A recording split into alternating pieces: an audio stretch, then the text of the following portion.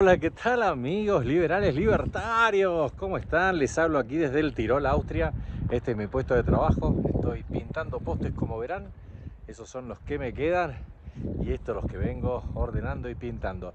Prácticamente una actividad que realizo solo con un compañero de Afganistán que llegó aquí de una forma en una historia de esas muy interesantes de inmigración, más de 7.000 kilómetros en distintos vehículos a través de una mafia que lo transportaba por una cifra que nunca me quiso contar.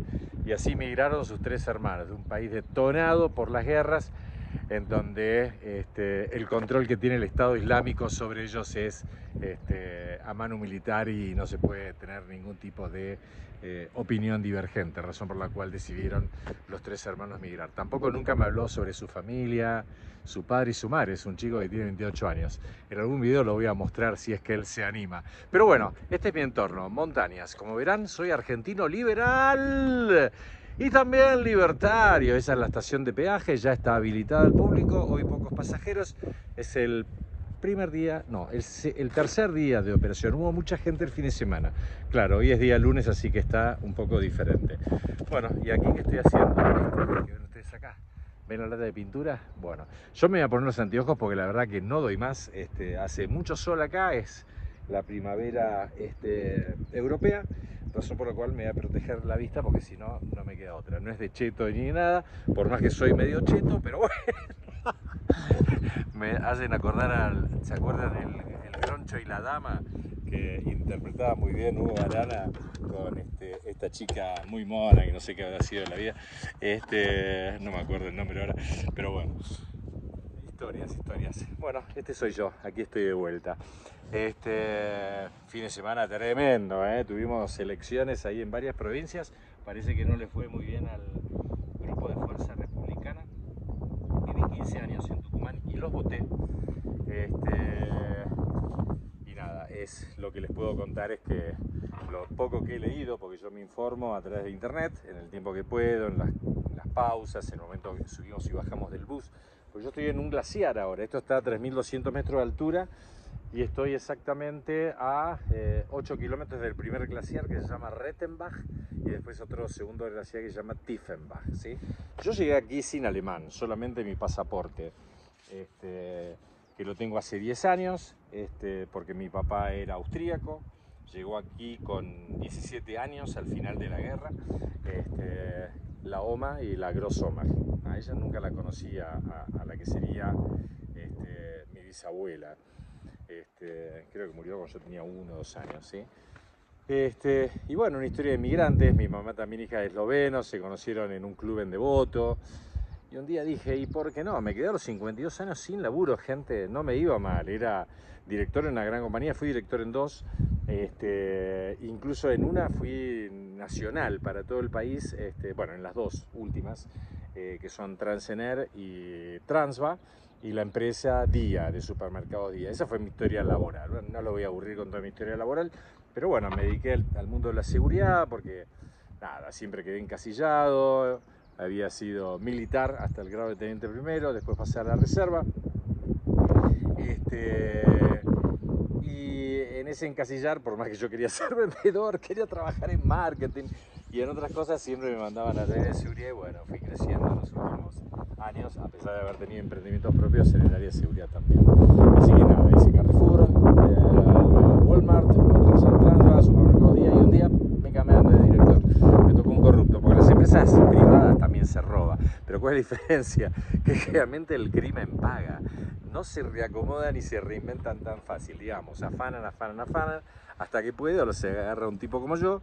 Bueno, produjo una investigación el día lunes, al otro lunes no me dejaron ingresar. Esa fue mi historia, 52 años, me encontré eh, con un cambio de vida, una nueva novia, una chica chilena este, que me cambió la vida y que hoy me dio a mi cuarto hijo, tengo tres hijos que están por suerte dos aquí conmigo, los unos meses a visitar a su mamá, pero bueno, yo los, eh, los hice emigrar, o sea, eh, no veía futuro en Argentina y ellos también tenían pasaporte, le dije vengan para acá, prueben, estudié en alemán, les mostraba mi certificado, yo empecé de cero, no, no es que aprendí el idioma alemán de niño, recordaba algo de la fonética, quizás alguna canción, algunas palabras, pero nada más que eso. Este, y bueno, esa es mi historia, 52 años, nos fuimos a hacer el Camino de Santiago, escribimos un libro, el libro se llama Mi Pequeño Peregrino. Este, me pidió uno de los, de los que está en el canal, dice, publicitalo, si bien vos no pedís dinero, no pedís que te soporten, yo tengo mi trabajo, no necesito este, hacer este canal por una cuestión monetaria. Pero sí me gusta promover mi libro, eh, que se llama Mi Pequeño Peregrino y que está en seis idiomas. ¿sí? No les voy a decir todos los nombres ahora todos los idiomas porque los voy a aburrir, pero bueno, este, no vivimos de eso. Es un libro que se encuentra fácilmente en Amazon también está en Mercado Libre en Argentina, este, que lo tiene mi mamá y lo tiene mi ex mujer también. Así que bueno, hacemos lo que podemos, gente. Este, acá no estoy trabajando mal, estoy muy bien. Serían como unas 850 lucas al día de hoy, 10 de junio, 11 una cosa así, en Argentina, que son como 1.700 euros en el bolsillo. Además de tener una muy buena obra social y un beneficio también de una vivienda, porque vivimos en un pueblo de 4.000 habitantes y nada, eh, la empresa también pone su parte ofreciéndote una, una vivienda este, económica. Mi mujer también trabaja y, bueno, tenemos la posibilidad de mandar por una baja tarifa también. Este, baja tarifa para acá, ¿no? Son 300 euros, no es poca plata, este, eh, para mandar a nuestro niño a 15 euros por día, 20 días a la semana, a lo que es una guardería pública, que es del Estado. Este, acá también hay mucha acción del Estado este, en este país, eh, pero bueno, es, mucho más ordenada, como verán. Es del Estado, pero pago 300 euros. ¿Por qué? Porque se considera que es un servicio y no tengo por qué no pagarlo. Eh, ¿Por qué? Porque le dan una comida y una colación y no sé qué, y bueno, todo eso tiene ese costo. Este, y entonces, va la mañana una Folschule, va la tarde un Nachmittag y, y, los días sábados tiene un uh, Samstag Betreuung, que es, una, es un cuidado de los días sábados. Sí, son muchas escuelas, pero bueno, es la única forma que también eh, lo hacen jugar mucho, igual tiene este, siete años recién cumplidos. Eh, y bueno, y les decía, mi mujer es chilena de Viña del Mar y hoy somos esta pequeña familia acá dos hijas más grandes que se quedaron en Viena, donde vivimos los últimos tres años y somos unos migrantes muy nuevos. No tengo 20 años en Europa, ni me las sé todas, no sé nada, o sea, estoy aprendiendo. Si llegué acá con 50 palabras y hoy nada, creo que quizás esté en 2.000, 3.000 y más o menos les entiendo y puedo trabajar. Y no se me cae nada por estar haciendo esto, porque aparte me divierte muchísimo y también soy artista plástico. Hago eh, pintura abstracta, hice algunas exposiciones en Argentina en su momento, en Londres, donde viví vendiendo empanadas este, en un local de un tucumano, este, a quien no conocía y que amigos nos conectaron. Ese fue mi primer empleo. 7 libras con 80 a la hora, todavía lo recuerdo. Eso fue hace, eh, cuando ni bien terminamos el camino de Santiago, que, hicimos 825 kilómetros caminando con mi bebé. Este, bueno, me pareció importante esta presentación porque algunos de ustedes están conectando conmigo, yo estoy muy agradecido. Ya llevamos más de 360 suscriptores, para mí me sorprendió muchísimo esto. Eh, empecé el canal subiendo dos o tres videos con 35, 36.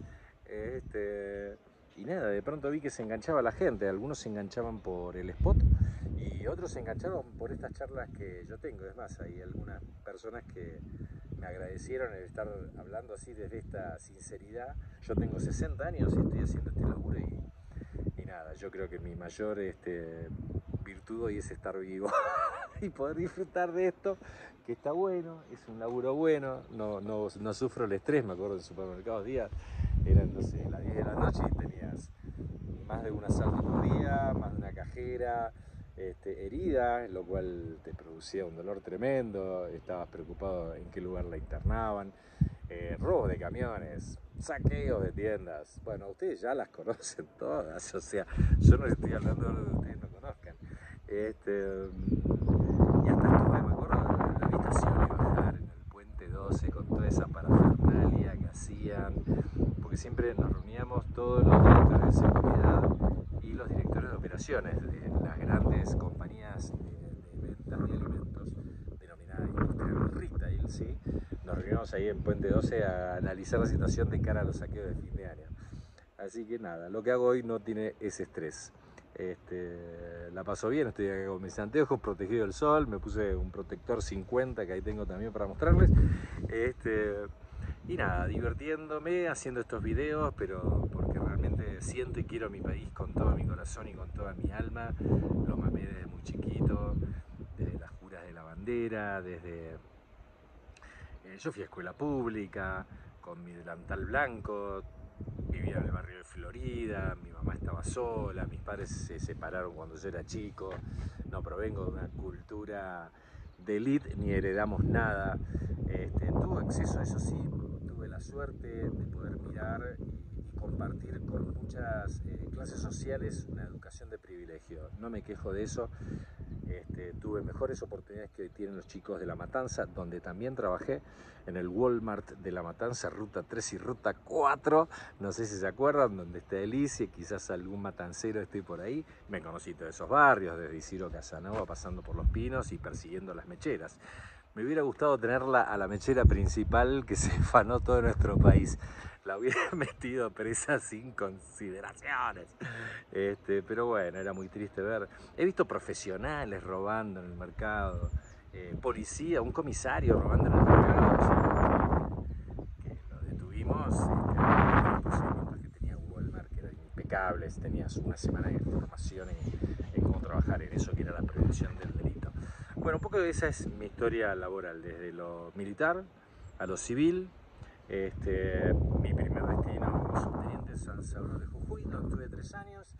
Después estuve muchísimos años en Tucumán, eh, unos 15. También pasé por la Escuela Militar de Montaña, la Escuela de Infantería de Montes Caseros. Y un día me destinaron a La Rioja. También lo conocí al presidente Menem de casualidad. Este, me mandaron como escolta este, a La Rioja con toda una fracción eh, hacer. Eh, la recepción de honores cuando llegaba y, me tocó a mí hacer esa, estaba destinado en La Rioja y tuve que ir a recibirla del aeropuerto. Así que bueno, este, nada, me acuerdo incluso que había ido, no sé por qué, habían ido tres o cinco personas y estaba la chica esta, la Florencia Peña, ¿vieron la peticita esta actriz este, que ahora se volvió hiper kirchnerista?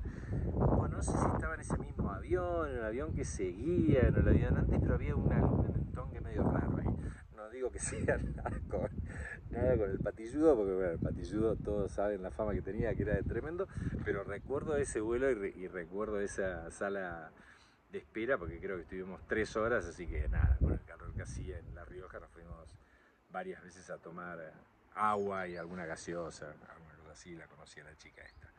Muy peticita, por cierto. Bueno, este, nada, historias, chicos, eh, es lo que les cuento. Pero vamos al grano de lo que a ustedes eh, les gustaría escuchar. Eh, fin de semana agitado y hay una cosa que tengo por percepción, no voy a hacer ninguna primicia ni nada, yo soy un simple mortal que solamente leo. Pero en esta lectura que estoy viendo, no tengo dudas que gana en primera vuelta y no tengo dudas que ganan las próximas elecciones. Así que sumate a la libertad avanza, porque la Argentina va a cambiar y cuando la Argentina empiece a cambiar, me vuelvo y nos encontramos en algún lado para festejar. Gracias por estar aquí.